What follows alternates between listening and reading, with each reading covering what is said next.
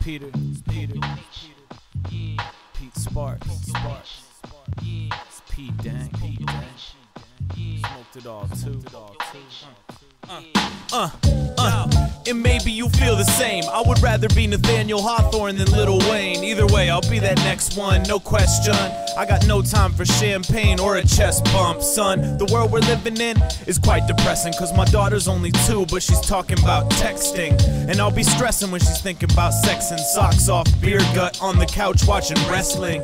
And these times are darker than coal mines. All the countries got beef like imported bovine. This way to Armageddon, read the road signs, but I got them cracking up. I'm honest to a fault line. I promise, no fibs when the kids on it, running with it like a population running from a comet.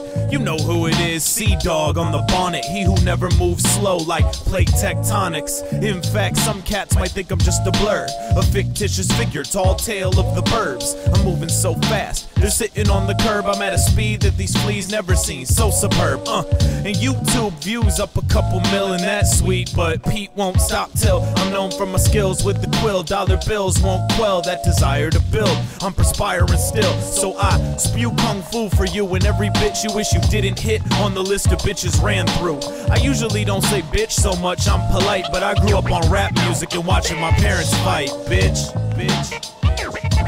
Uh. Bitch, bitch.